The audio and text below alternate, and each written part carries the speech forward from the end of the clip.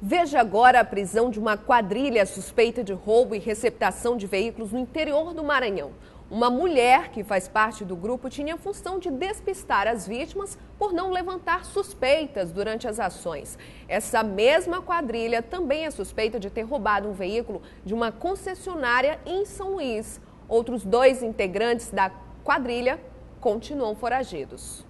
A Polícia Civil do Maranhão conseguiu prender membros de uma quadrilha que roubavam e vendiam carros em São Luís e em municípios do interior do estado. Entre os acusados estão Edilson da Silva Melo, preso por receptação na cidade de Chapadinha, Isamara Castro, candidata a vereadora da cidade de Chapadinha em 2012, presa em Viana no mês passado, tentando aplicar golpes em concessionárias da cidade, além dos foragidos Odivan Costa, acusado de roubar veículos, e Ludivan de Moura, filho do delegado Luiz Moura, que também está foragido. A gente iniciou com uma investigação que ocorreu no dia 8 de julho, quando houve um, uma revendedora que foi assaltada por um casal que fez um test drive no interstício do, do, do, teste. A gente conseguiu prender em Viana, uns 15 dias atrás. Outro, outro quadrilheiro foi preso dias anteriores e juntando as quebra-cabeça nós chegamos a um grupo e comprovou a tese nossa que realmente os carros que são roubados aqui na capital estão indo para o interior.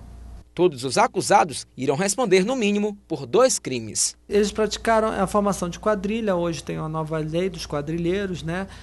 Além disso, vai pelo várias vezes pelo crime de roubo é, duplamente qualificado pelo concurso de pessoas e pelo uso de arma de fogo, até que a gente conclua o um inquérito policial que já está na fase final em relação a esse crime, mas instaurado inquéritos outros em relação aos outros crimes.